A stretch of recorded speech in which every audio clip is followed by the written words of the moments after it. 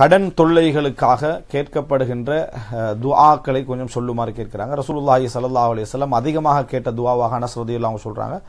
அல்லாஹும் இன்னி அவுது பிக்க மினல் ஹம்மி வல் ஹசன் வல் அஜ்ஸி வல் கஸ்ர் வல் ஜுப்னி வல் புஹல் வதல அத்தைனி ரிஜால் அதாவது ரசூல் சல்லா அலுவலம் கவலை வேதனை மனதில் எழக்கூடிய என்னது ஆதங்கங்கள் இவைகளை எல்லாம் அஹ், பாதுகாப்பு தேடி தொடர்ந்து அதில் ரசூல் சல்லா அலுவலம் அவங்க சொல்கிறாங்க கோழைத்தனம் கடன் தொல்லை மனிதர்கள் எங்களை மிகைத்து செல்லல். இவைகளிலிருந்து நான் என்ன செய்கிறேன்? யா உன்னிடத்திலே பாதுகாவல் தேடுகிறேன். ரசூல் சல்லா அலுவலம் கேட்டதாக சஹீல் புகாரில் செய்தியை நம்ம பார்க்கிறோம்.